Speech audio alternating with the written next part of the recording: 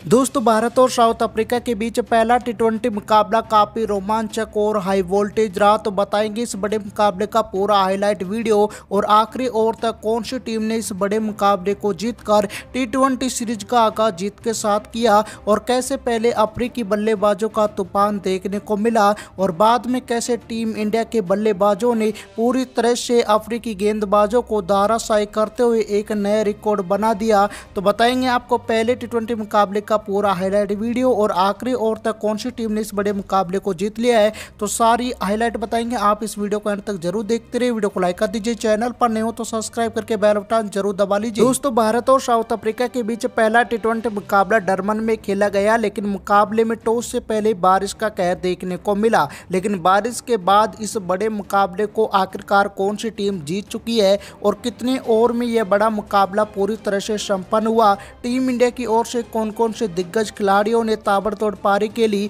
Team India का score कितना रहा तो आइए जान लेते हैं पूरी रिपोर्ट। दोस्त, भारत और साउथ अफ्रीका के बीच ये बड़ा मुकाबला डरबन में खेला जाना था, लेकिन बारिश के चलते इस बड़े मुकाबले में टॉस भी नहीं हो सका। इसमें इस बड़े मुकाबले में काफ़ी इंतज़ार कराया और आखिरकार इस बड़े मुकाबले को बारिश के चलते रद्द घोषित किया गया। ऐसे में उसके बाद में कोई भी सुपर ओवर का बड़ा मुकाबला भी नहीं खेला जा सका, क्योंकि इस बड़े मुकाबले को पूरी तरह से रद्द घोषित कर दिया जिसके चलते आगे इस बड़े मुकाबले का आयोजन नहीं हो सका। साथ ही तीन मैचों की टी ट्वेंटी सीरीज़ का पहला टी ट्वेंटी मुकाबला रद्द हो चुका है। ऐसे में दो टी ट्वेंटी मुकाबले बचे हुए हैं। ऐसे में टीम इंडिया को अब आगामी दोनों बड़े मुकाबले जीतने होंगे, तभी team India T twenty series को अपने नाम कर सकती है। ऐसे में अगले दोनों बड़े मुकाबले 14 और 12 दिसंबर को खेले जाएँगे। ऐसे में उम्मीद है कि टीम इंडिया इन बड़े मुकाबले को जीतकर सीरीज़ को अपने नाम करेगा। दोस्तों, आपको क्या लगता है टीम इंडिया सीरीज़ जीतेगा, नहीं जीतेगा, कमेंट सेक्शन में यस और नो का आंसर ज़रूर दीजिए और क्रिकेट से जुड़ी इस अपडेट के लिए